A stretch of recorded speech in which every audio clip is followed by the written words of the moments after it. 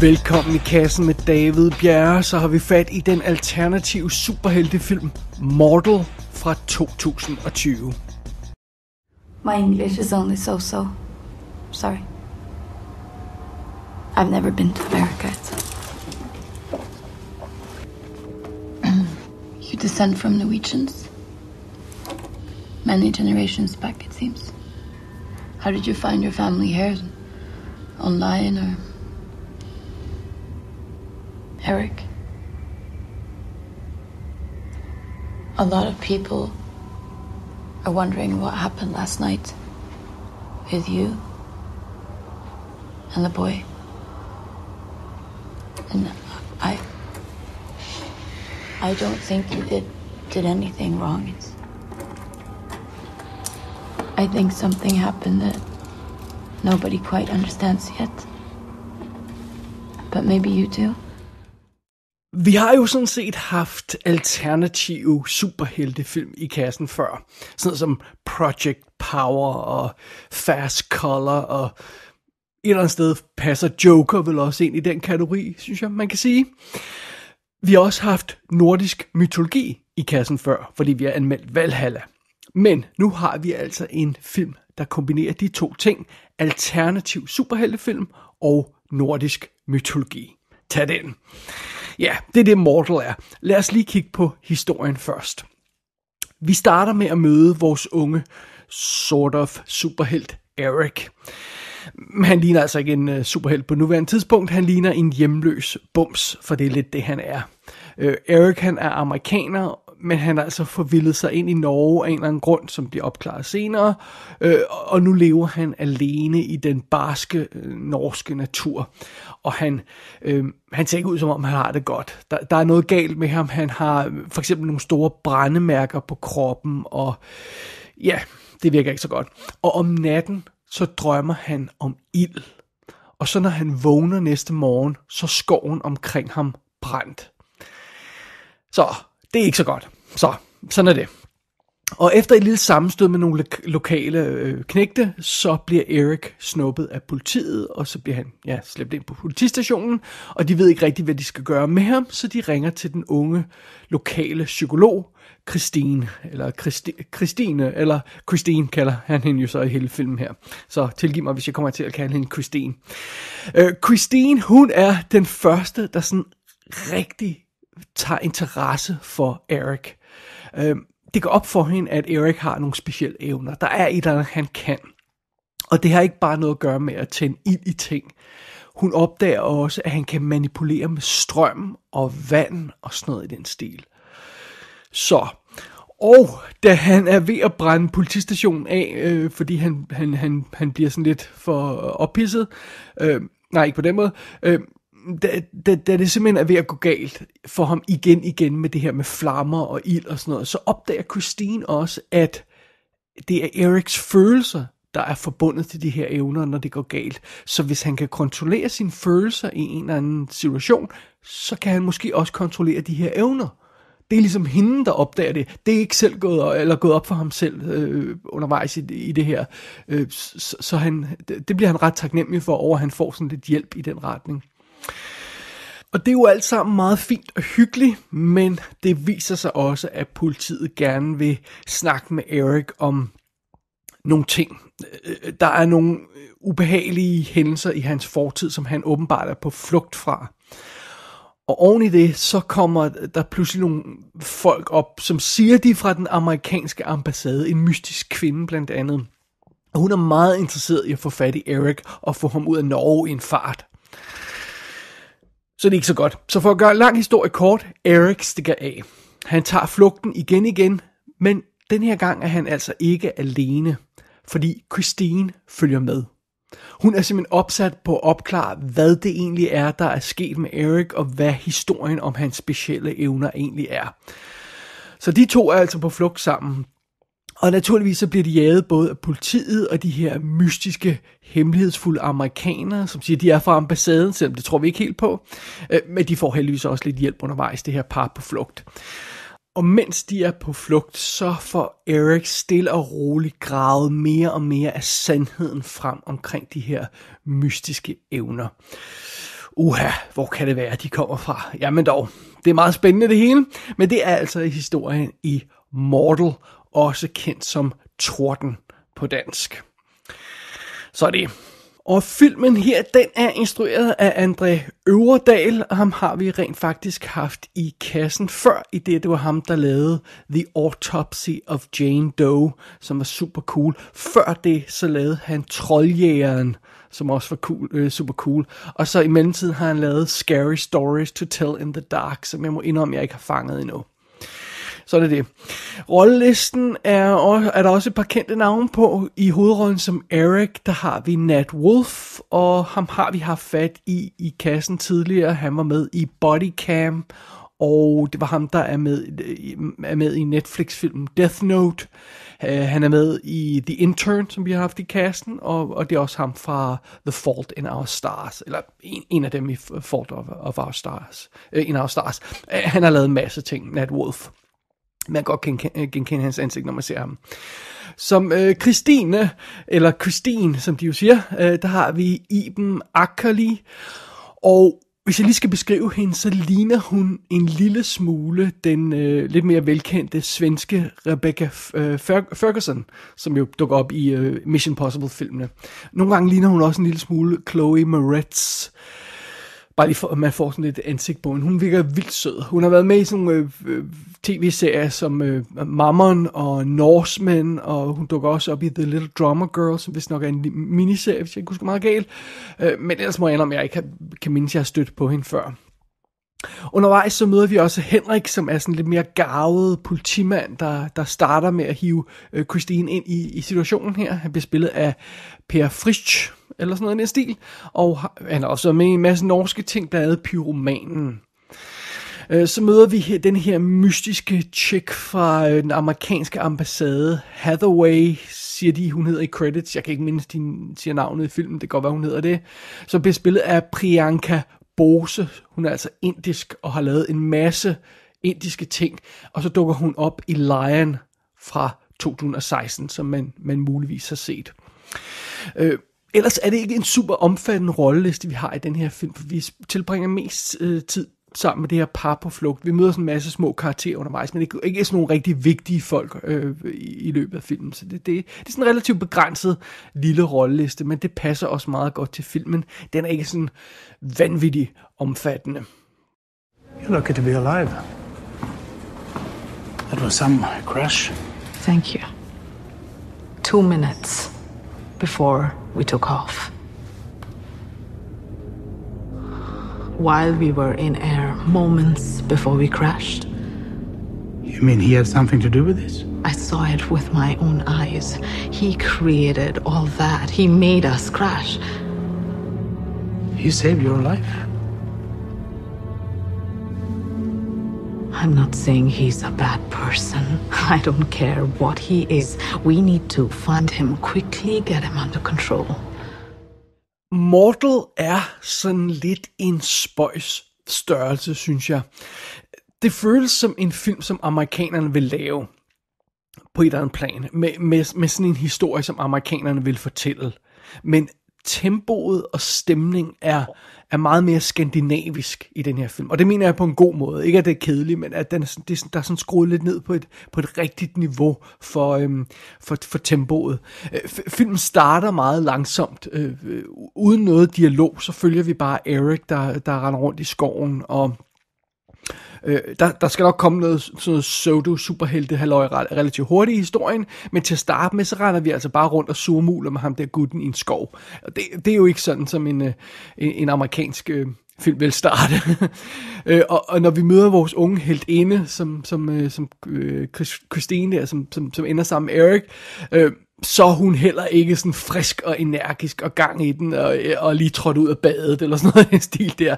Nej, øh, øh den her karakter, hun er knust, fordi øh, der lige er et selvmord, som hun ikke kunne forhindre. Det er også en anden øh, øh, øh, øh stil og tempo, øh, end, end, end en amerikansk film vil kaste sig ud i, når den, når den etablerer en karakter. I hvert fald sådan øh, den her type super, superhelte actionfilm.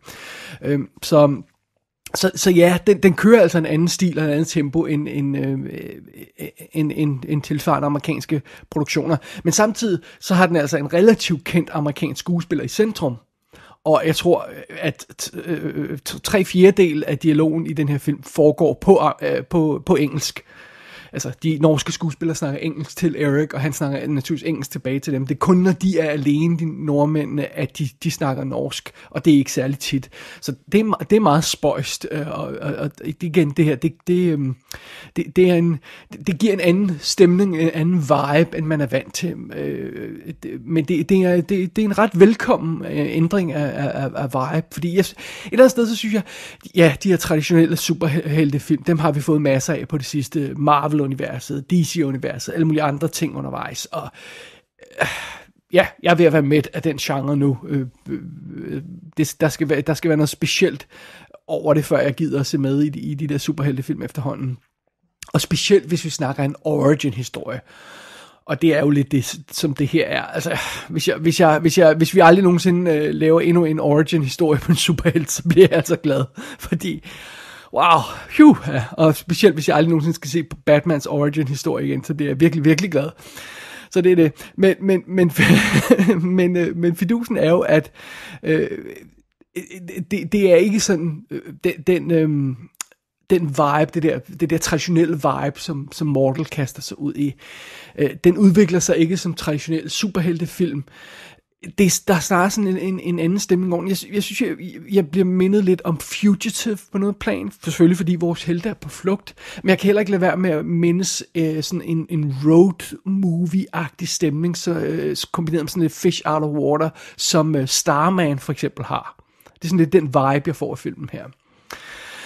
Og, og det betyder selvfølgelig også, at i stedet for bare at fokusere på de utrolige kræfter og løse gåden om, hvem Eric er, så bruger filmen her, Mortal, altså en del tid på, på, på, på, øh, på selve karakteren Eric, den her plagede karakter, og på den hjælpsomme Christine. Og der udvikler sig sådan et, et, et, en, en sød forbindelse mellem de to. Og det er en forbindelse, der bliver enormt rørende og nærværende i den her film, og det synes jeg virkelig er fedt. Den vir- det virker ikke kalkuleret, at de her to havner sammen ikke som det for eksempel gør, når Natalie Portman hun falder for Thor i, øh, i den film. Øh, det virker meget mere naturligt og, og, og, og godt her, synes jeg. Og apropos Thor, fordi vi kan lige så godt hive fat i den nu, det er nok ikke nogen hemmelighed, at det er tordenguden Thor, som øh, øh, vi skal have fat i i den her film på et eller andet tidspunkt. Som sagt, øh, på, på norsk og dansk, der hedder filmen altså Torden. Det er ikke tilfældigt, og, og, og vi ser Erik på, på coveret, eller på, på plakaten med sådan lyn ud fra hænderne. Ja, der er et eller andet haløjse i forbindelse med Thor og, og, sådan, og det der nordiske mytologi, som vi skal have fat i her. Men filmen ræser altså ikke øh, øh, afsted for at, for at etablere den del af plottet. Den giver sig faktisk god tid til at bygge den her superhelte stemning op. Øh, stille og roligt for, for Eric overblik over sine evner. Og selvom han altså rendte rundt derude i skoven og, og åbenbart eksperimenterede lidt med, hvad han kunne helt alene, så opdager han altså nye øh, nye ting ved sine evner i den her film. Også specielt takket, takket være øh, Christine, der har skubbet lidt til ham. Øhm, og, og, og, og, og stille og roligt finder han ud af flere og flere ting, og så øh, øh, via den vej, så begynder filmen sådan elegant at snige det her nordiske mytologi ind. Og det starter i det små. Det starter stedet med, at, at øh, når man så, Erik kan fortælle om, at han lider af mareridt, og når han drømmer, øh, så ser han sådan et stort træ for sig. Og man skal nok ikke huske særlig meget af sin øh, øh, nordiske mytologi, før, før det begynder at ringe klokker. Det er naturligvis, naturligvis Yggdrasil, livets træ, som han ser. Det, det får man ret hurtigt sådan, ah, det skulle nok det. Øh, og senere så går filmen amok i lyn og tordenvejr, og, og så er der ikke længere nogen tvivl om, hvilken nordisk gud vi er fat i. Øh, så, så, så det er fint nok, men, men filmen er altså relativt øh, langsom og elegant med den måde, den, den kører de her elementer ind i historien. Øh, og når vi så får for, for fat i Thor og, og bliver overbevist om, at, at ham med Erik har et eller andet med Thor at gøre, så bliver næste spørgsmål, hvorfor Thor, og hvorfor lige Erik, og hvorfor, hvordan kan en, en, en simpel knægt fra, fra USA, som havner i Norge, pludselig være involveret i det her? Ja, det er naturligvis det spændende historie, det er det, vi skal finde svar på, og det, det er også det, filmen øh, kaster sig ud i undervejs. Og derudover så har øh, Mortal også fast i et andet lille koncept, den arbejder med. Øh, det, det er et koncept, vi kender fra Superman-historierne. Det her med, at hvad nu hvis en kraftfuld øh, kraftig, øh, powerful superhelt ankom til jorden, vil han så blive mødt med glæde? Sådan, yay, nu kan vi få åbnet alle vores øh, syltetøjsglas, som ikke har kunnet åbne før. Vil han blive mødt med den stemning, eller vil han blive sådan betragtet som en gud, mere end en superhelt? Og hvis han bliver betragtet som en gud, vil han så blive tilbedt af nogen, men foragtet af andre, fordi de vil se ham som blasfemi over for deres egen religion. Det er jo det, der er interessant. Sidst nævnte øh, øh, øh, scenarie øh, der med, at folk vil foragte ham, er nok det mest sandsynlige, fordi øh, øh, øh mennesker er jo åndssvage, og, og specielt når man kaster ud i religion. Så det er det. Øh, men, men det er, det er nogle af de, de koncepter, som den her film også leger med, og, og har inde i historien. Jeg synes, det er meget fedt.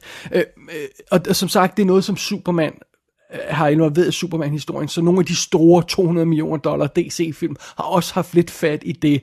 Og det foregår naturligvis på et lidt lavere plan her i, i Mortal, men det gør det ikke mindre interessant, synes jeg, øh, at, at det kommer lidt ned i scale, de her idéer. Øh, og apropos størrelsen på filmen, og hvor omfattende den er, og hvor dyr den er, så, så ja, man, altså, man kan godt se, at, at Mortal ikke er en 200 millioner dollar amerikansk film. Det kan man godt. Og nogle steder føles den som en meget lille skandinavisk film. Øh, heldigvis har den jo den her storslåede norske natur, det hjælper. Altså, der skal jo bare et helikopterskud til af de her store fjelle, og så, så ligner filmen en milliard, så det er fint nok. Øh, men for det meste så er det her altså ikke en kæmpe, flashy, omfattende film. Når, øh, når for eksempel det går galt for Eric i den her politistation, så er det et rum, der bliver brændt af. Altså det er jo ikke hele film, øh, øh, øh politistationen, der går op i flammer, og alt eksploderer og sådan noget. Så, så vil det måske lidt vil være en, en amerikansk film. Øh, men det er en god ting, synes jeg, fordi det, det, det gør, at, at Mortal føles mere intim og nærværen. Den føles ikke som et show, sådan en kæmpe show, hvor alt skal springe i luften, og alt skal, øh, skal torden og lyn og det hele. Den, den føles nærværende på en fed måde. Øh, men det betyder jo så til gengæld også, at den ikke er lige så imponerende som de store, dyre Marvel og DC-film, hvis det er det, man er ude efter. Det foregår altså på en anden skala. Det må man ligesom være bevidst om, når man kaster sig ud i sådan en film som det her. Men bortset fra, at den ikke har pengene, så synes jeg nu godt, at den kan følge med rent visuelt Mortal her, fordi den får leveret en række super cool sekvenser, et showdown på en bro, der er virkelig cool, øhm, og der er en masse af, af velkomponerede billeder undervejs, der er nogle sådan flotte, ikoniske momenter, der sådan brænder sig ind på nethinden, som filmen får stillet op, så rent visuelt synes jeg rent faktisk, den er super cool at lægge at se på, selvom den ikke har haft så mange penge endda. Så nej, alt er lige på bundlinjen, så synes jeg rent faktisk, at Mortal er en fremragende lille film. Den er flot, den er energisk, den er vedkommende på en måde, som mange af de store amerikanske film ikke er. Egentlig synes jeg kun, der er én ting galt med Mortal. Men lidt afhængig af ens humør, så er det faktisk en ret stor ting. Og problemet med den her film er, at den slutter midt i det hele. Det er sådan en slutning, der får filmen til at føles som første del i en trilogi. Øhm, det er ikke sådan, men det, altså det, men det er ikke engang sådan rigtig en, en øh, cliffhanger-slutning, eller sådan en end of chapter 1 slutning. Jeg vil næsten gå så langsomt til at sige, at Mortal føles decideret ufærdig. Altså det føles virkelig som om den stopper midt i historien, øh, eller på et punkt i historien selvfølgelig. Øhm, og det er en lille smule irriterende, synes jeg. Og, og, og det siger jeg velvidende, at jeg, jeg, at jeg ikke havde regnet med, at historien egentlig kunne gøres færdig, hvis vi skal have fat i de her store, de her store plot omkring nordisk mytologi og gud og alt muligt haløjsa, så er en sølle film på 100 minutter nok ikke ikke nok til at fortælle den historie, hele den historie. Og filmen lægger, altså i pressebeskrivelsen, og sådan, så lægger den ikke skjul på, at det er en origin-historie. Det er starten på hans historie. Fair nok. Men øhm, alligevel synes jeg, at, at det, det, det er mere ekstremt end bare starten på historien, for det føles nærmest som om, at, at, at vi heller ikke får, altså det nærmest dårligt kommer ordentligt i gang. og, og, og jeg må indrømme, den slutning, som, som Mortal har, den efterlader mig i en lidt mærkelig situation, fordi jeg er lige ved at sige, at det, det punkt, hvor den slutter på, altså det, at den følelse, man har, når filmen slutter, det er så slemt, at, at det, det næsten gør filmen svær at anbefale. Fordi jeg tror ikke, der kommer en to. Jeg, tror, øh, altså, jeg, jeg har ikke fornemmelsen af, at det har været et kæmpe hit, og jeg har ikke læst nogen steder, at der skulle være planer om toeren, og den står ikke på instruktørens CV som sådan kommende ting, og jeg har i hvert fald ikke, jeg har i hvert fald ikke læst noget sted, at der skulle være planlagt en toer, så jeg, jeg, jeg, altså det her, det, jeg tror, det er, hvad vi får, den her film, Mortal, that's it, 100 minutter historie om etablering af en ny øh, superhelt, i, i, i, som er toagtig. That's it, take it or leave it. That's it. Det er, hvad vi får. Og efter omhyggelig overvejelse, så tror jeg nok, jeg vil, sige, jeg, jeg vil vælge at sige, jeg tager den altså. Jeg er på. Jeg synes, der, den er cool nok, den her film. Jeg synes, jeg synes det, øh, Mortal har mm, gode nok ting i sig, til at jeg kan tilgive den slutning, den ufærdige slutning, som jeg føler, filmen har. Men jeg tør altså ikke garantere, at alle vil have det på samme måde.